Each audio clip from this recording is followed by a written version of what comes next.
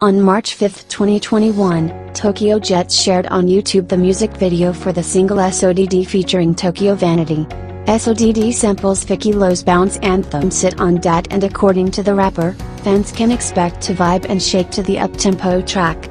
Produced by Grammy Award winner Will Made It, Jetz teamed up with Vicky Lowe, who was most recently featured on Megan Thee Stallion's Ride or Die and another Louisiana artist. Tokyo Vanity to deliver that authentic New Orleans sound on the hook.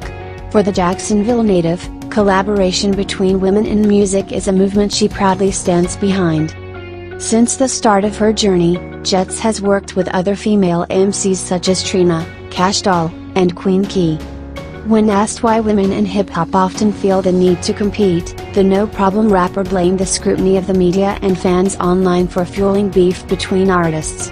Anytime a blog posts a female rapper, any day of the week it's always a comparison to another female rapper in the comments, Tokyo Jetz said.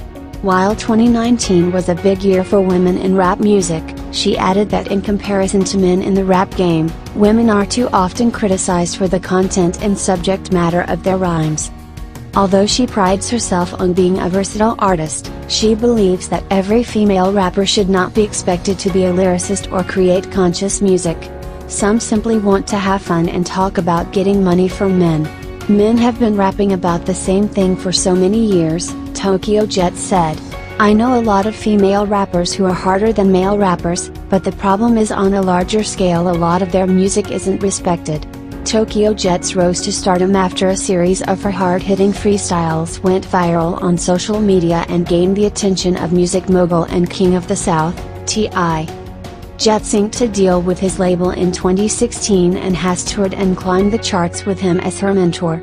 As the First Lady of Grand Hustle, the lyricist also opened up about their relationship and the impact T.I. has made on her growth as an artist. Click on the link on the description to watch the video and buy her music. Don't forget to like, share, comment, and subscribe.